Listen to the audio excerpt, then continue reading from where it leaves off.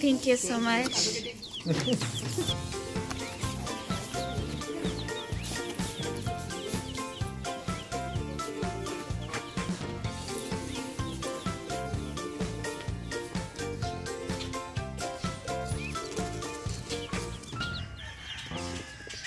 guys, welcome back to my channel. Today in this video, I'm going to be talking about mail order chicks and them arriving to you via US Postal Service. Now, you're probably wondering how this is possible, so I'm going to be explaining that as well as giving you some advice about ordering your chicks. But before we get started, be sure to subscribe to my channel and also follow me over on Instagram.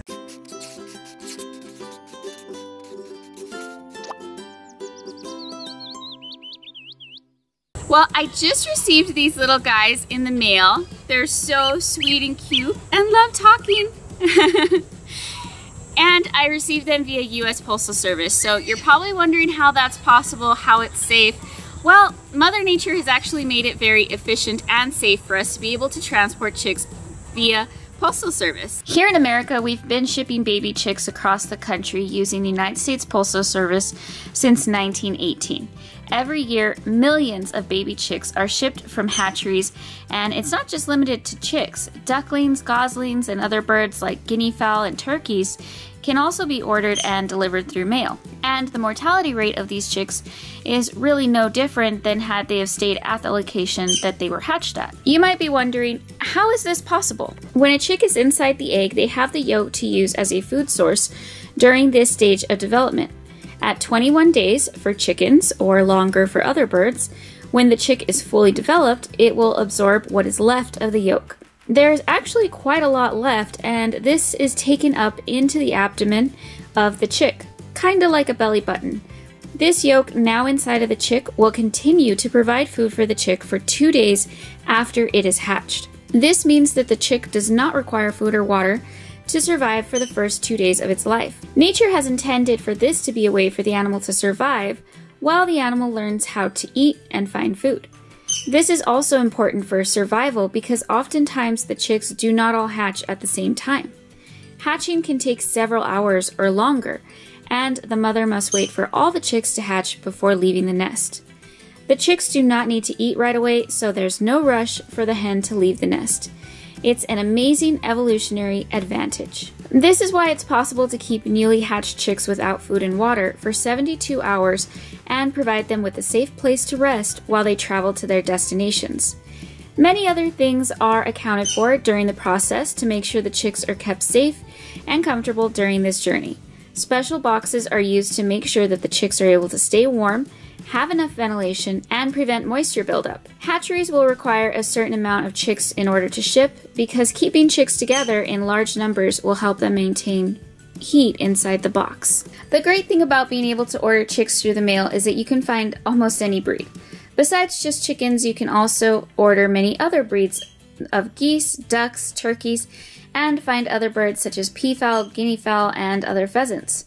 There are many different hatcheries offering mail ordered birds. I recommend not using hatcheries that will sell small amounts of chicks, like four or six in a box, because a large quantity is really needed in order to maintain body heat during travel and keep chicks safe.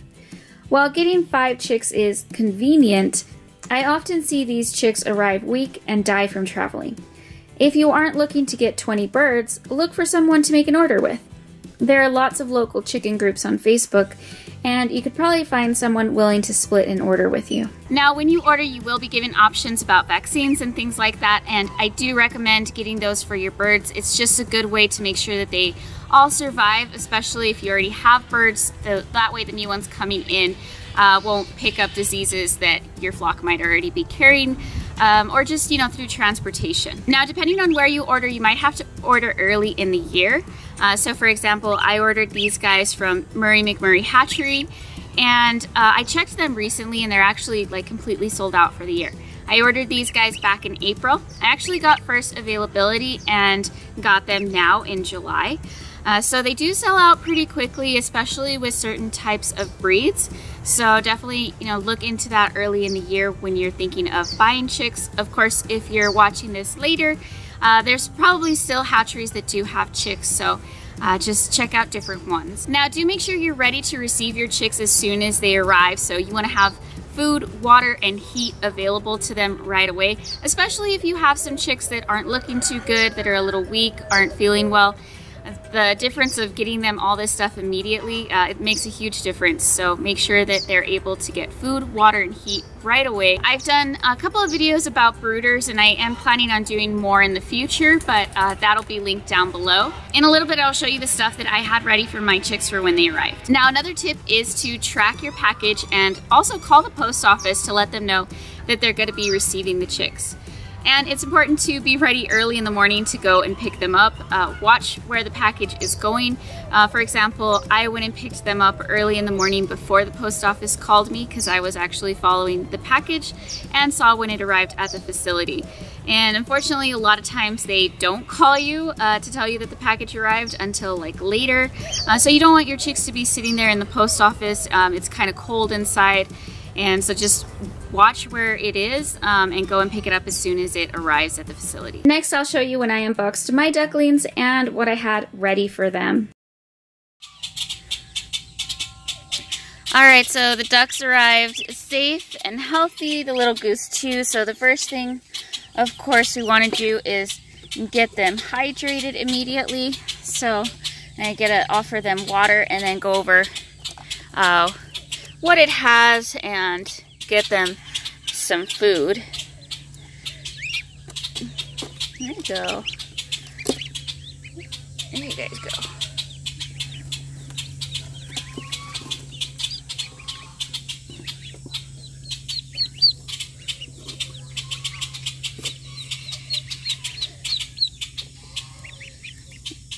And we'll show them the water right now. They'll get the hang of it. They just hatched on Monday. Today's Wednesday, so they look really good.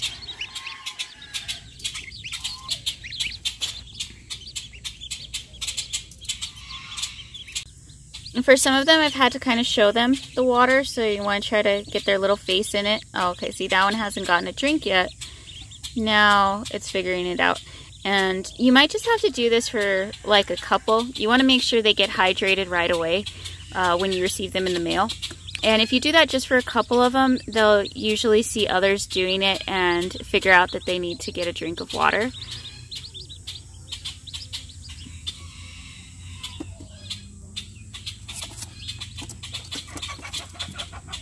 But they all look super healthy. They're running around already, playing.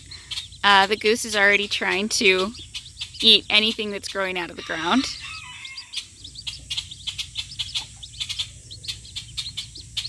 I gave them a small bowl because, you know, ducks are going to get into their bowl. And I don't really want them swimming yet because I want them to drink and get uh, those electrolytes and probiotics before they start pooping in their water.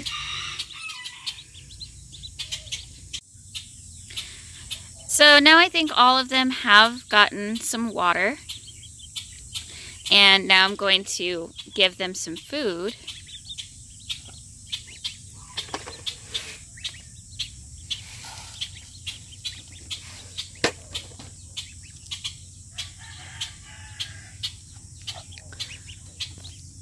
And you can also add water to the food to make it a little bit softer for them to eat. Makes it a little bit easier for them to eat this. And also a little bit more appetizing. And I just used the same water that had the electrolytes and stuff. Um, I had to make so much of it. They're not going to drink it all right now.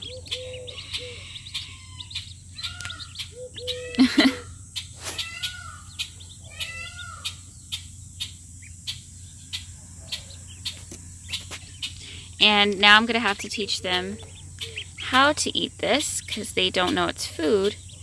But if they see me, they'll get interested in it. But I kind of need two hands, so I'm going to put this down and work on getting them to eat. Now, when you get your chicks in the mail, something really important to have on hand is this uh, Sav-A-Chick products, electrolytes and probiotics. And you mix this in for their water. And this is for basically everything. Uh, it's for chickens, ducks, geese. I think that's uh, pheasant. So, you know, if you have guineas or whatever it is that you're ordering, mix this into their water. It's going to help them get hydrated quickly. You know, they've been in a box for two days and haven't had access to food and water. Uh, so this way, their first water, their the first water they get is going to be really good for them. And they can sit in it and fall asleep. Maybe somebody else would like to get some water. There you go. And that's really good for them, uh, especially if you have some chicks that maybe they're not looking very good, then you definitely want to give them that. Um, I'm just giving it to all of them, even though they look really healthy and very active. Moved their food over to a bigger plate to try to get them to eat. I had to show a couple of them, but now they've all figured it out and they're all eating.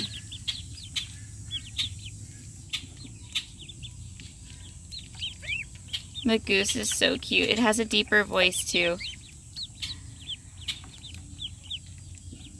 And, you know, typically people would put the chicks in a brooder when they get them. Um, I'm not for two reasons. One, um, being out here with them on the floor gets them more used to me, and I really like for my animals to uh, be as tame as possible and to really interact with them a lot and have them bond with me. So, uh, brooder um, you know, doesn't let you bond as much, although it's really important if you, they do need the heat. Uh, here in Texas, it's super hot, and honestly, um, I'm not going to be putting a light on these guys at all. Um, now, it is important to put a light on them if you don't have super hot temperatures. Here, if I put a light on them, I'd basically cook them unless they're like in the house and it's you know 70 degrees then yeah they do need to get a light bulb. But um, I'm keeping them outside. Putting a light bulb would make the temperature over 100 which would be very very uncomfortable and could kill them. So they get to be out here in the hot weather where they're comfortable and they get to play. And also ducks are extremely messy so we'll talk about like some brooder ideas for ducks in another video but yeah, this is, um, they're, they're not exactly like chickens. And the goose is a lot more, uh, you know, attention demanding than the ducks. And that's, you know, typically how they are. oh, don't fall. They're still learning how to walk. Some of them have tumbled. But yeah, they're so cute. Thank you guys so much for watching this video. I hope you enjoyed it and I'll see you guys again next time. Bye!